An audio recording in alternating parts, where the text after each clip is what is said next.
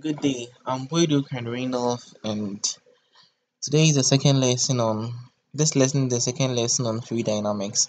So we'll be going through the gradients of a scalar of a vector field. So when you talk about the gradient of a vector is a tensor which tells us how the vector field changes in any direction.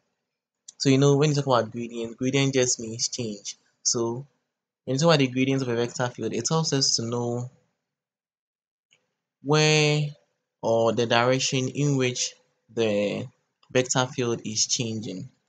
So you remember that when you find the gradient of a scalar of a vector field, you get a vector field because you realize that we are we are using the gradient of the vector field to know the direction and we can only know the direction when we have the ijk component. So the ijk component us the change in those components, so the changes of direction in those components. So when the gradient of a scalar phi, when you have a scalar phi, then the gradient of it is given by del phi, which is equal to this particular relation here.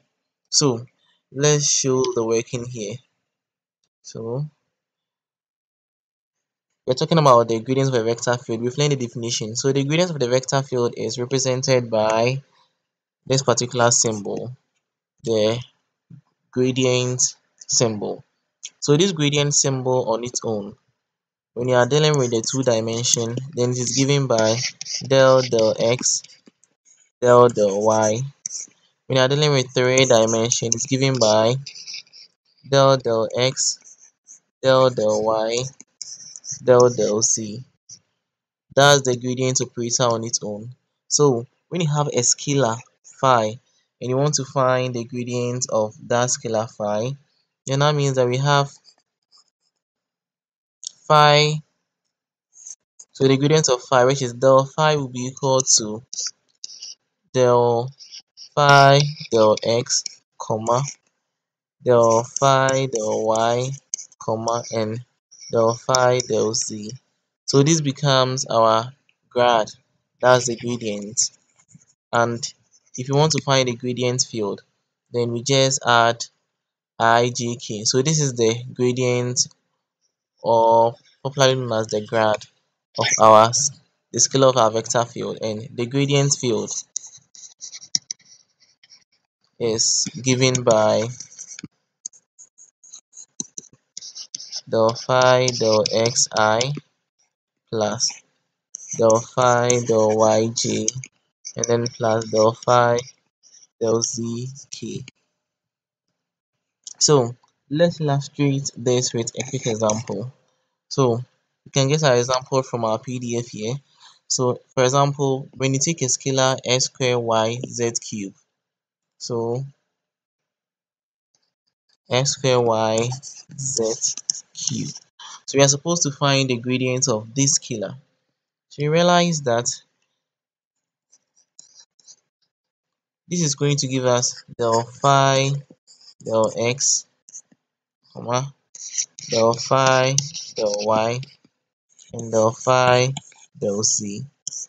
So remember that phi is given by x square y z cube. So that means that the gradient is going to give us del del x of x square y z cube.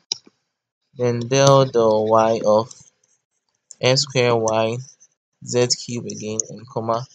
Del del z of x square y z cube. So then now we are supposed to do partial differentiation here. So when we differentiate this partially with respect to x that means are going to get 2x y z cube and this is going to give us with respect to y we are going to get x square z cube with respect to z we are going to get 3x square y z square. So you realize that this becomes the grad. And to find the gradient field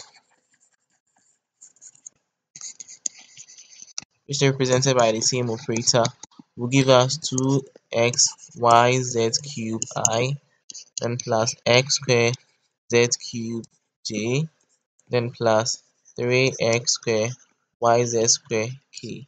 So this is for the i component and that's the change occurring in the i component. This is a change occurring in the j component and this is a change occurring in the k component. So that's how to find the gradient of a vector field. But note that we always find gradient of a scalar of a vector field. And when you find the gradient of the scalar of the vector field, we always end up with a vector field.